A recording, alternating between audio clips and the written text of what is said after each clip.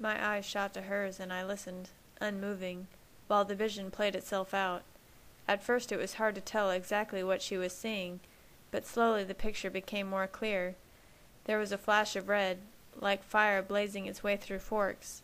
Then the fire slowed, and I could see the face I recognized all too well. Victoria. Her villainous smile and ire-filled eyes consumed my every thought, as I forced myself not to tighten my grip on Bella's hand. Of course she would have seen Alice's expression, and knew that she was seeing something, but I couldn't let her know it was anything to worry about. My family and I could handle one enraged vampire, and I would not allow Bella to waste one more moment of her life frightened. Alice? Alice? Angela said loudly, waving her hand trying to get Alice's attention. I laughed to distract Angela, then kicked Alice sharply, reminding her we were in public. Is it nap time already, Alice? I said, forcing her to lock gazes with me. Her eyes widened, and she let her posture shift back into a relaxed position. Sorry, I was daydreaming, I guess. Daydreaming's better than facing two more hours of school, Ben added, and almost instantly we were engaged once more in casual conversation. The difference now was that Alice, Bella, and I were all pretending. As hard as I was trying not to give Bella any reason to worry, I could hear her heart wasn't settled back into its regular rhythm, and felt how tense her body was next to mine. Alice was keeping up the facade well, but I was sure Bella noticed the intensity of her gaze when she had locked eyes with mine. Get Bella away from Forks for a while. We'll handle this. I gave her the tiniest of nods while I ran my fingers through Bella's hair. I wasn't sure which one of us I was trying to comfort with this gesture. I stayed closer than usual to Bella's friends for the rest of the day, unwilling to give her the chance to ask what was wrong. I had every intention of listening to Alice's advice and getting Bella far away from Forks as possible. I just needed to think of somewhere she wouldn't refuse. Where could I offer to take her that she wouldn't instantly recognize as an excuse to get her out of town? We could go up to Alaska to check out the college that would be serving as her alibi, though that thought only made me more miserable and worried. Better yet, I could take her to see Dartmouth and try to entice her with the beautiful architecture.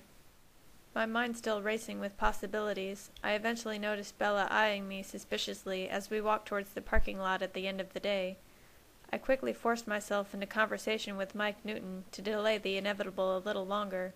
His car was only starting about half the time, and he was worried eventually he would end up stranded somewhere. Maybe you need a new battery, I suggested, infusing my voice with as much sincerity as I could muster, considering who I was talking to. Yeah, genius, like I never checked the battery. Why is he even bothering anyway? Mike's biting internal sarcasm didn't make it any easier to keep the smile on my face. Yeah, I thought of that, he said, obviously struggling as much as I was to keep the conversation polite. But I just replaced the battery. Perhaps it's the cables. Maybe. I really don't know anything about cars. I need to have someone look at it, but I can't afford to take it to Dowling's. I suddenly felt Bella's hand squeeze mine tightly, and her body stiffened. I glanced at her, but she had already seemed to calm herself down from whatever had upset her. I know a few things, I said, bringing my focus back to Mike.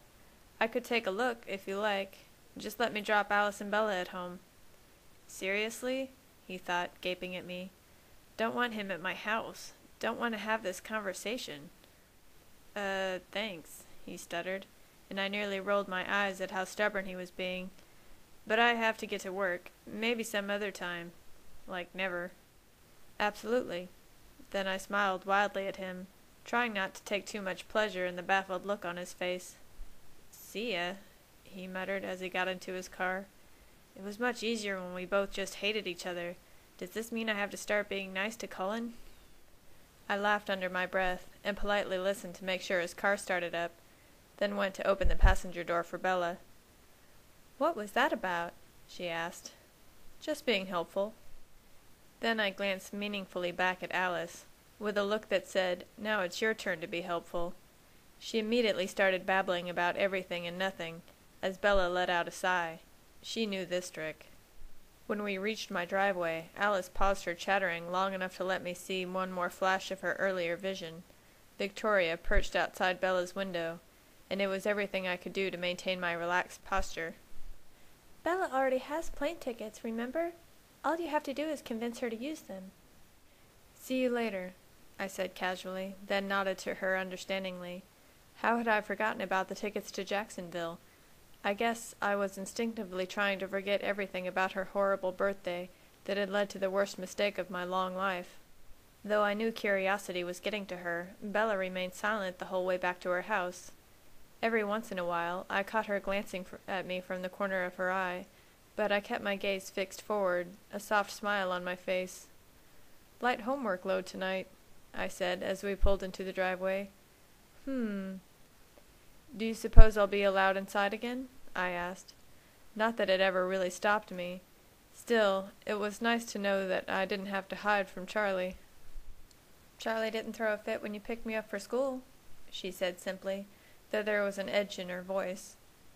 I followed her upstairs, holding my breath and waiting for the question I knew was coming. I was surprised when she walked almost immediately to her computer, flicking it on as I lay down on the bed. I glanced down at her nightstand, wondering if I would find the tickets collecting dust in her drawer. Bella seemed sufficiently distracted, so I quickly opened the drawer and shuffled through a thin stack of papers, only to find them at the bottom of the pile, just as I had suspected. Tickets tucked safely away in my pocket, my mind wandered as I listened to the sound of the computer warming up. Getting her to agree to a trip to Florida didn't seem like too difficult of an undertaking. It was obvious she missed her mother. She had been talking about her in her sleep a lot lately, and I was sure a visit would do both of them a lot of good. And Bella and I being on the other side of the country would keep me sane. My thoughts were interrupted by the sound of Bella's fingers drumming nervously on her desk.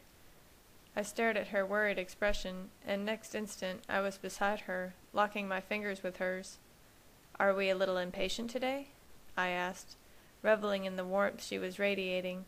Suddenly I needed to be closer. Her heartbeat picked up slightly as I gazed into her eyes, my intent becoming clearer when I leaned in and took a deep breath of her scent. It was amazing the way all my fears seemed to disappear the moment our lips touched. Everything else vanished, and there was only us. Although I was no longer consciously thinking about the danger that was on the way, my concern for Bella's safety was still eliciting a strange response within me. Instead of pulling away like I normally would, everything in my body was telling me to bring her closer.